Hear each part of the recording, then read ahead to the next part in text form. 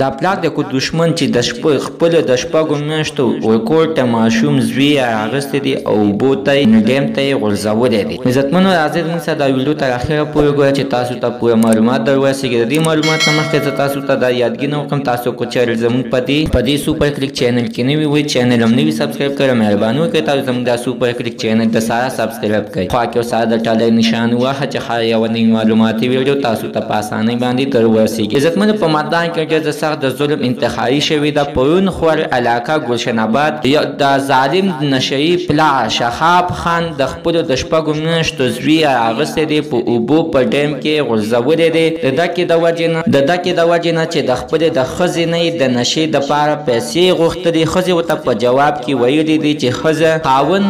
خزې ته پیسې ورکوي خاون اس کله د خپل خزې نه پیسې نشي اغستلې او نه نه د خاون حق کېږي چې د خزې نه پیسې واخ ځکه چې خزه خو سګټه مټه نه کوي او خاون ګټه والي دی ګټه کوي همیشه خاون خو د ښځي له خرچه ورکوي خو دې ظالم شخاب د دکې د وجې نه خپل زوي د شپږو مياشتو زوي